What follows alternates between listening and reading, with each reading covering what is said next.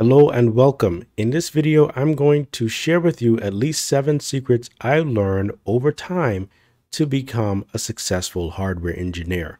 A lot of people have been asking me, Kirsch, how do I get started in hardware design? How do I get started in PCB design? Well, this is it, right? These seven secrets are going to lay overall the general foundation you need to know that you can be successful and over time confident in your PCB designs. So let's get started. Secret number one is to understand and learn the PCB layout process from schematic to your finished printed circuit board. Okay. And you want to do that using a professional PCB software.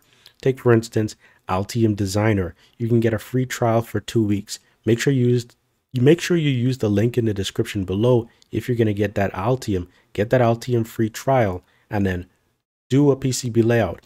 Take my free tutorial series on how to do the PCB layout. Take other tutorial series as well, okay? And so you could get that practice before the two weeks runs out. So that's secret number one. Learn and understand the PCB layout process from start to finish using a professional PCB design software. Secret number two, you want to understand electronics design. Now I'm not to I'm not talking about just PCB design. I'm talking about hardware design engineering, which includes everything from start schematic part selection to finished PCB layout. Okay. It's because nowadays you you're going to be more attractive, even more attractive as a PCB designer if you are really a hardware designer. You're from scratch to finish. Okay.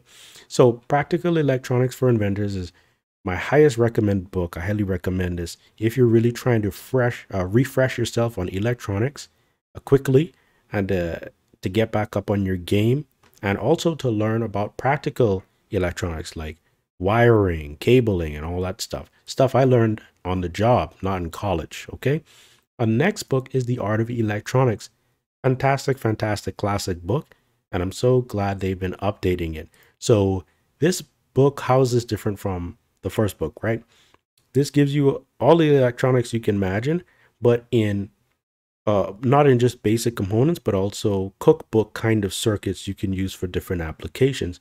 Plus, they really get in on some of the communication protocols like SPI, I squared C, so on and so forth. So this is a fantastic book. Always keep this in your library. That's secret number two. Understand your electronics design as a hardware engineer. Secret number three, you need to understand how to select components and parts. So check out DigiKey. How do you select parts from Mouser, Arrow, Octopart? How do you, how do you do your parametric search to make sure you're getting the correct the correct parts? And what are the schematic symbols that you would put in the schematic design from secret number two, right? But not only that, how do you read the the data sheet so that you can understand the mechanical footprint that goes underneath the device onto the PCB? You need to know that as well. Yes, the PCB layout, the footprints. Okay. And that's governed by like uh, IPC 7351 standard and some other things. But yeah, understand parts, both the conceptual and the mechanical part of the part. okay. No pun intended. All right. So that's secret number three parts. Secret number four PCB fabrication. I always harp on this, you know, I for a while, for a long time, I didn't really know all the steps in the PCB fabrication process, and I still don't know every single step, but I at least kind of know what it looks like and the materials that are involved. Because guess what? The materials affect signal integrity and EMI and PCB stack up and all that stuff. There are very specific reasons why the manufacturer wants you to do certain things a certain way to have an even number of layers on the PCB as opposed to an odd number of layers. And this is called design for manufacturing when you design uh, with your manufacturer and assembly company in mind. Because here's the Achilles heel. Every PCB that you want to design, you want it to be made, right? It needs to be manufactured. So there's really no way to escape the design for manufacturing process. All right. So it's a set of steps or rules that make it easier for your manufacturer and assembly house to fabricate and build your assembled PCBs for longevity, for a good price, reliability, and things like that. Plus, you want to use the IPC 221 standard, which is generic standard on printed circuit board design. Very good standard. Okay.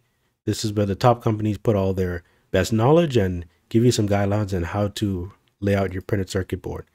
So design for manufacturing and understanding the PCB layout, pro, uh, the PCB fabrication process and assembly process is essentially secret number four. Secret or secret number five, excuse me. Secret number six is electromagnetics. So what do we mean by that? You need to understand signal integrity, power integrity, and electromagnetic compatibility slash EMI. What do these affect? How are these connected? Okay. Like signal integrity affects your traces, your controlled impedance traces, your things that affect length matching, skew, so on and so forth for your high-speed digital design. You need to understand your signal integrity. You also want to understand power integrity for the power distribution network. That's also important for the parts. All the parts are going to need some kind of power. So your power distribution network and how that's affected by power integrity or PISI is important. Then EMC EMI, you know, why does this matter, right? It's to a pass emissions testing, and this directly is affected by and affects your PCB stack up and also your signal integrity and your traces. So you need to know this as well. If you want a good primer on like electromagnetic compatibility and PCB stack up, check out Rick Hartley's presentation on um, achieving proper grounding. He's like the stack up guru on this stuff. And also, also uh, Dr. Eric Bogatin, Signal Integrity. All right, you want to check him out. He is the Signal Integrity Evangelist. Okay, so understand those. Why? Because when you understand secret number six, the electromagnetics, then you're ready for high speed PCB design. Oh, and if you understand secret number five, the materials and the design for manufacturing, okay, then you're ready for high speed PCB design. Okay, now, the final secret, secret number seven, is uh, how do you package your files to send them to a manufacturer, right? So if you uh, if you want to get your board manufactured, you need to package the files in such a way that a company can actually build the board. A good way to check your files is to use Altium 365 free online viewer. Upload your files. You can submit them as Gerber, and you know you can zip them up. You can also use the direct design files from the Altium Designer software and upload as well. You can use Eagle, also KiCad, those kinds of formats. You submit it here and then check it out. You can share your designs. But that's not it. That's not everything. You actually need to go to the manufacturer. Go to the manufacturer's website, whether it's Sierra Circuits, I like to use Sierra Circuits, or other companies. They will give you the full list of all the files you need to send to them in order to fabricate and assemble your printed circuit board for design success. And then there will be that back and forth. You need to be able to have those conversations, make the changes necessary to get the design done and on your clients or on the companies or on the boss's desk, right? For hardware testing and validation to get it done, right? You need to finish the job. So let's do a quick recap. Secret number one, understand the PCB layout process using a professional PCB design software. Secret number two, understand your electronics. Secret number three, parts selection, PCB footprints for those parts. Secret number four, fabrication of the PCB and understanding that. Secret number five, design for manufacturing. Secret number six, signal integrity, power integrity, EMC slash EMI. Secret number seven, being able to submit your files to a manufacturer and assembly house to actually get your board manufactured and assembled.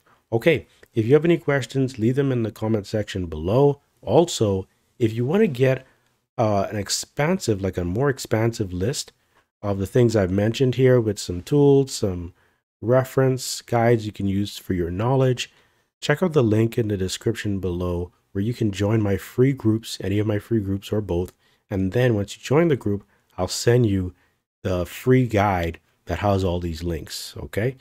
So thank you so much for watching and I'll see you in the next video. Peace.